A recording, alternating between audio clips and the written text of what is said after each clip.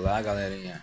Galerinha, hoje quero falar aqui, galera, sobre muitas reclamações que está tendo, galera, de, sobre a linha 14, 1245 e a 1346, né? Que é a linha Estação Pirajá Matiscoura e Estação Pirajá Itapuã. Essa linha, galera, está tendo muita demora para sair, está tendo muita reclamação, né? Então eu queria ver aí nessa prefeitura tomava vergonha na cara, né? A Secretaria de Mobilidade Urbana e colocava mais ônibus nos horários, colocava mais ônibus quando a fila estivesse grande.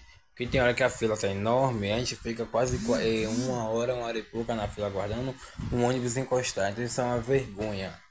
Estação Pirajá, para quem mora por lado de Itapuã e pro lado de Matos Cura, está uma vergonha. Não está tendo ônibus não está tendo ônibus a partir das 9 horas da noite. Não começa mais a ter ônibus. Aí só você só consegue pegar ônibus 10 horas, depois de 10 e 5, depois de 10 e 5 só 11. Que é isso? Eu tenho pai e mãe de família pagando passagem cara. Então a prefeitura deveria rever, né? Essa questão aí do transporte, dos horários, que tá uma vergonha. Uma vergonha. Só sabe aumentar a passagem de tirar a linha de ônibus e não colocar o ônibus nas linhas que tem.